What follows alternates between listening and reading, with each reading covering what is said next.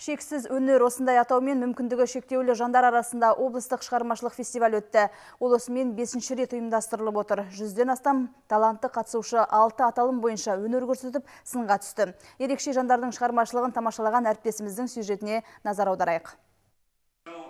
Байқау алты аталым бойынша өтті. Көркем сөз, көркем және аспаптық өнер, вокал, сәнді қолданбалы өнер және хореография. Фестивальды Ардо жүрек мүгедектер бірлестігі ұйымдастырып отыр. Шара дәстүрлі түрде өтеді. Әр байқауда көптеген қатысушының қарым қабілеті мен дарыны анықталады. Айта кетейік, байқауға ересектер ғана емес, балалар да қатыса алады. У нас каждый год участники Бізде қатысушылар өзі ұнатқан аталым бойынша өнер көрсете алады. Келесі жылы өнердің басқа түрінен бағын сынай алады. Жыл сайын қатысушылардың саны артып келеді. Облыстық байқауға қатысып жатқан әр қатысушы дарынды. Кейбіреулер қолданбалы өнерді жетік меңгерсе, басқалары хореография бойынша өз қабілеттерін ортаға салған. Кенес медрес бала кезінен мәнерлеп оқуға жаны. Бүгінгі шараға да Мағжан Жұмабаевтың бірнеше өлеңін дайындап келіпті. Айтуынша бұған дейін де көптеген шығармашылық сайыстарға қатысып, жүлделі орындарға ие болған. Мағжан. Оқуларына қатыстым абай оқуларына қатыстым шуақты әлем деген ә, фестивальға қатыстым. Тағы да басқа ә, жарыстарға қатысқан болатынмын.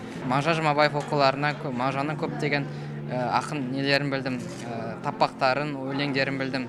Және де шуақты әлем фестивалінде көптеген ә, өлеңдерді таппақтарды естідім. Ә, абай оқуларында көптеген абайдың оқуларын білдім жақсы дайындықпен келдім жақсы көңіл күйдемін барлығына сәттілік тілеймін Фестиваль қорытындысы бойынша барлық қатысушыларға бағалы сыйлықтар мен дипломдар, грамоталар табысталмақ. Алдияр Жылқайдаров, Әділ Нұржанов, жаңалықтар қызметі.